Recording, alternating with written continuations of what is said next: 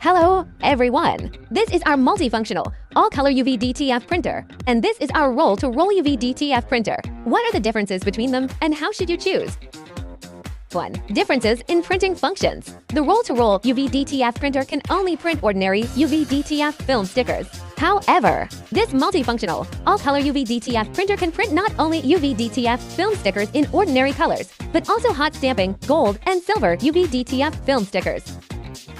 2. Differences in printing speed. The roll-to-roll UV DTF printer is equipped with two Epson XP600 print heads, while the multifunctional, all-color UV DTF printer has four Epson TX800 print heads. The printing speed of the multifunctional, all-color UV DTF printer is much faster than roll-to-roll UV DTF printer. 3. Price differences. The roll-to-roll UV DTF printer costs $4,000, while the multifunctional, all-color UV DTF printer costs $6,000.